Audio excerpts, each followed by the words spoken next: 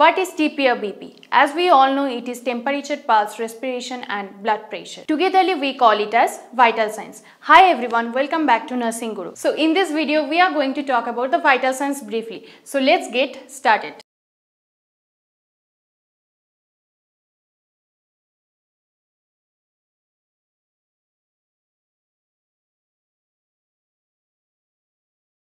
So first one is therapeutic purposes. So what is therapeutic purpose? Before giving drug to the patient, you have to measure vital signs. So second one is before perform any kind of diagnostic test. So diagnostic test means some kind of lab test if you are going to perform. Before that, you have to take the vital signs of the patient. And the last one is for gathering the baseline data. So here what is the baseline data? So baseline data means some kind of general information when you are going to collect from the patient. Before that you need to take the vital signs. So these are the three main purpose of taking the vital sciences. Then next we will be seeing temperature. So what is temperature? So temperature means it is the hotness and coldness of the body. It balances in between the heat loss and heat production of our body. So what is the normal temperature? So the normal temperature of our body is 98.6 degree Fahrenheit and 37 degree Celsius. So if it goes down below 37 degree Celsius or 98.6 degree Fahrenheit, we call it as hypothermia.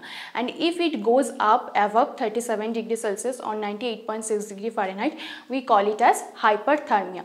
So there are few sites of checking the temperature. So these are axilla, rectal, oral and tympanic. So by these four sites you can check the temperature of the patient by thermometer. So there are few factors which affect the temperature. These are age, gender, stress, any kind of diseases or any kind of environment. So because of these factors sometimes temperature can goes up or sometimes temperature can goes down. So this is all about temperature. The next we will be seeing the pulse. So what is pulse rate? Pulse rate means it is a wave of blood.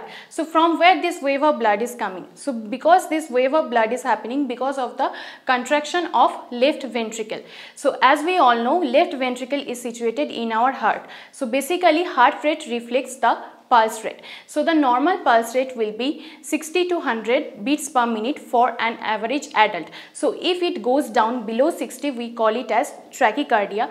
If it goes up above 100 we call it as bradycardia. So there are few sites of checking the pulse rate. So what are they? These are temporal, then carotid, then apical, then brachial, then radial, then popliteal. It would be under of the thigh. Then the last two is dorsal pedis and posterior tibia. So these are the few sites of checking the pulse rate. Now we will be seeing how you can assess the pulse rate. So there are two types of assessing the pulse rate. First one is palpation and the second one is auscultation. So palpation means basically the feeling. So like I have told you there are few sites so if you you will touch the sites by your three fingers then you will be feeling the pulse rate. So this is called as palpation. Then auscultation means by using the stethoscope. So if you will put the stethoscope on the sides of the pulse rate, you will be feeling the beat or the rhythm of the pulse. So by these two types of assessment, you can assess the pulse rate. Now, there are few factors which is affecting the pulse rate. These are stress. So, if a person will be in stress, their pulse rate sometimes it can goes up, sometimes it can goes down. Then some kind of disease condition. If the person will be having some kind of disease condition like fever, like general disease condition, fever or something, then the person's pulse rate will be high or sometimes it can be low.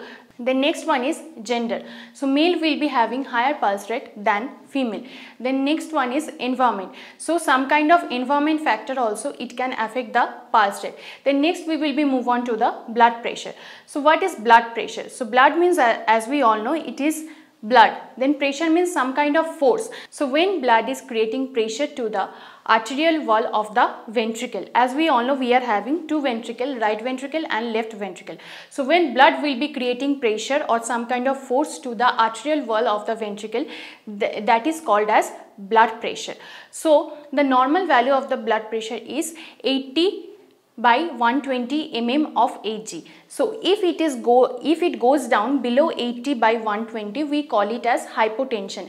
If it goes up above 80 by 120 mm of Hg we call it as hypertension. Now there are few sides of checking the blood pressure. First one is upper arm. So as we all know in upper arm uh, brachial artery is situated. So by the brachial artery we can check the blood pressure. Then the next one is forearm. So in forearm we are having radial artery. So by that radial artery we can check the blood pressure. The next one is thigh.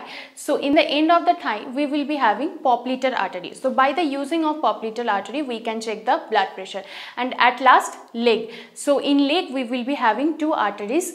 First one is dorsal pedis and the second one is posterior tibia. So by this by using of these two arteries we can check the blood pressure or we can measurement the blood pressure. Now factors affecting. So, so there are some few factors which will affect the blood pressure. These are age. So if some person's age will be high or age will be above 50 or 60, their blood pressure also will be increased. Then gender. Of course, male will be having high blood pressure rather than female. Then stress. So if a person will be having some kind of stress or if a person is having, having some kind of trauma, then their blood pressure also may be decreased or sometimes it can also be increased. Then next one is respiration. So what is respiration? Respiration means as we all know it is breathing. So in a proper definition it is it is an act of breathing to inhale oxygen and exhale carbon dioxide.